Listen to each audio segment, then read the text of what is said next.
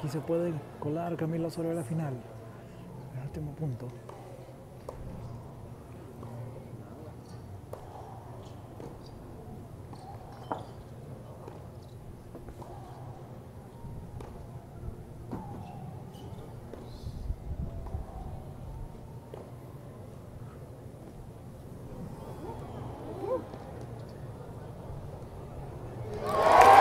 Y así concluye esta primera semifinal.